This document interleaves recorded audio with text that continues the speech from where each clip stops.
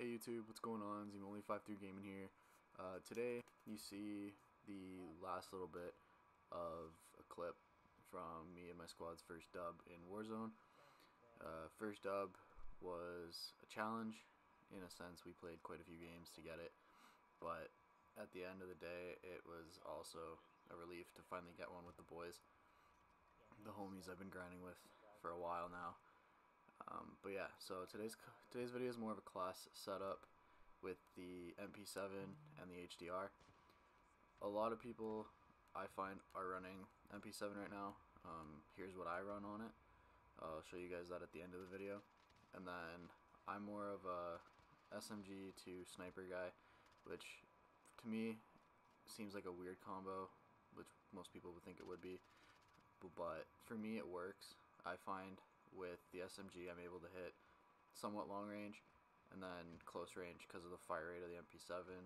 I usually have a pretty good shot at eliminating enemies that are close range on me. Even if they get like the first shot or first two shots on me, I can usually turn around and with the fire rate of the MP7, it uh, downs them faster than they down me.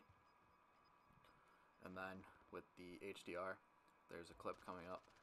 I run a thermal sight just because a lot of people, even though they do run cold-blooded, um, there's a bunch of people that don't. And if you have a squad where three of them are and one of them aren't, and if, they're sticking together, you'll still see where their uh, roughabouts are. Like here, there's two guys not running cold-blooded, whether they don't have loadout drops or not, whatever, uh, it doesn't matter. You can still see them. And then I was able to take the armor off this guy here. Um, and then running up the hill, I went back to the MP7 because it's going to be more close quarters than anything. So the MP7, uh, better, better close range than the sniper. I'm not much of a quick scoper, even with uh, the thermal sight. This is more of a slow sniper build. Um, but even if it was a faster build, I'm not much of a quick scoper. I would probably get shot before I could even get a shot off. It's not much of my forte, but it works for me the way I have it set up and I probably won't change it anytime soon unless you guys want me to put in a new uh, class setup. If you guys do, you can leave that in the comments and I will try it out, let you guys know what I think, and probably make a video on that. I know in the past I made a M4 MP5 setup.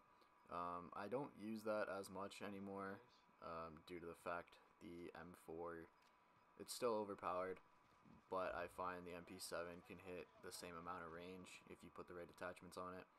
And it's got a faster fire rate than the MP5, so it's kind of like two guns in one for me. And then I run the sniper so that with with my team, we sit back and kind of run the storm more or less.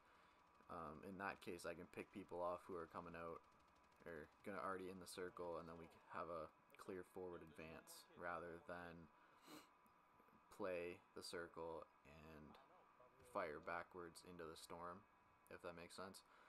But yeah, uh, if you guys want to try this class, please do. Um, I'm going to show you guys it at the end.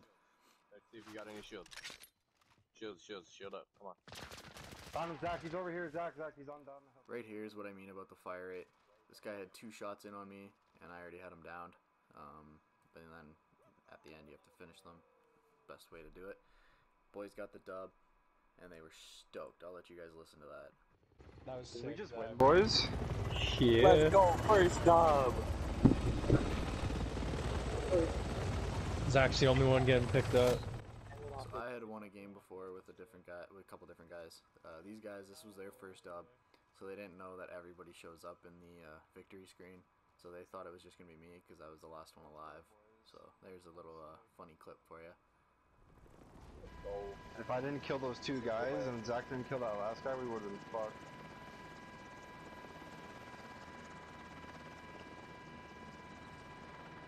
No, I, was down to go fucking do the guinea pig. Getting into the class setup, here's the outlook. I run the monolithic suppressor on the MP7, the FSS recon for the highest damage, uh, control, recoil. Uh, I then run the Ranger foregrip, more recoil control. The 60 round mags, because the MP7 goes through ammo like there's no tomorrow. And I run the rubberized grip as it uh, reduces recoil again, which this gun shoots lasers And then for the HDR, I didn't change it much. Um, I put the 26.9 HDR Pro barrel on it, highest damage, highest range. I'd put the uh, dual thermal sight on, uh, change distances depending on where I'm sniping, whether it's a building above me. Uh, the FTAC Champion for aiming stability, 7 round mags because I miss a lot of shots, and I used to focus so that if I do get shot while I'm trying to snipe, there's less flinch. And then to the class setup, I run cold blooded. Uh, so if enemies are using thermal, I don't I don't uh, appear white. Overkill, so I can run the dual primaries. Shrapnel for the two C4s. Uh, a lot of vehicles in this. C4s are kind of OP with that. Um, and then I run heartbeat sensor for running into buildings and stuff. Yeah, pull it out before you run in, see if there's any enemies in there. Chances are it'll uh, show up unless they're running Ghost. If you guys want to play better, check out gamergoat.com. Zach20 gets you 20% off.